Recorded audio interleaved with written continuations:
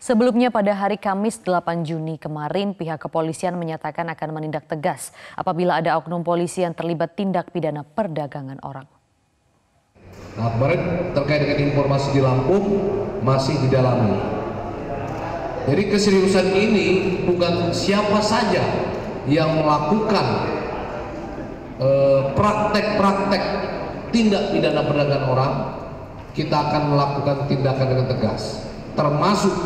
bila ada oknum anggota Polri yang terlibat kita akan tindak dengan tegas ya